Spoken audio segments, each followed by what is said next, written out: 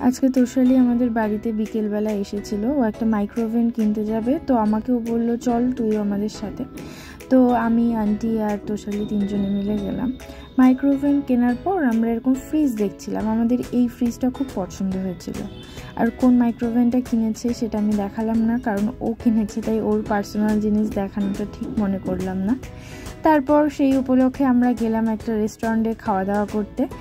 আমরা খাওয়া দাওয়া ছাড়া তো আর বাড়ি ফিরে আসি না। এই যে বসে রয়েছে আর রেস্টুরেন্টের অ্যাম্বিয়েন্সটা খুবই সুন্দর। খুব ভালো লাগে, তাই আমাদের এলাকায় যতগুলোই রেস্টুরেন্ট থাকুক, আমরা এটাতেই যাই বারবার।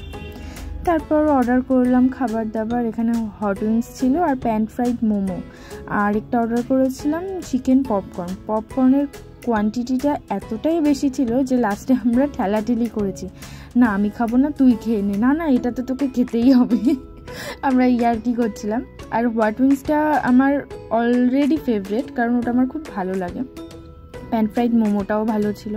আরেকটা মশালা কোক অর্ডার করেছিল ও, আমি কোক কোল্ড ড্রিঙ্কস এইগুলো না একদম খেতে পারি না ওই ঝাঁজটার জন্য। তা জাস্ট ওর কাছ থেকে দুই সিট নিয়েছিলাম, ওই খেয়েছিল। আর এই যে খাওয়া দাওয়া করছি আমরা পপকর্নটা তো লাস্টে অতিরিক্ত হয়ে গেছিল, পেট একদম আইঠাই। আর আমরা এত ধীরে খেয়েছি, এত ধীরে খেয়েছি যে সবাই চলে গেছে। মানে রেস্টুরেন্টের আশেপাশে কেউ নেই, শুধু আমরা দুজনই রয়েছি পুরো ফাঁকা। তারপর খাওয়া দাওয়া করে বাড়ি চলে আসলাম। আজকের ব্লগটা এই পর্যন্তই, ভালো লাগলে সাবস্ক্রাইব করবেন। Thanks for watching